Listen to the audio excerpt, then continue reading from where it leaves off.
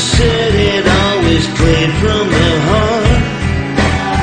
He got an agent and a roadie named Bud. They made a record and it went in the charts. The sky was the limit.